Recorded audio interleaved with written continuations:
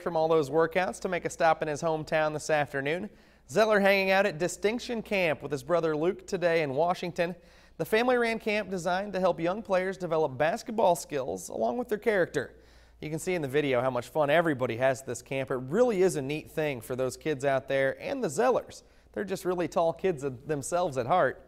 They have a great time doing it.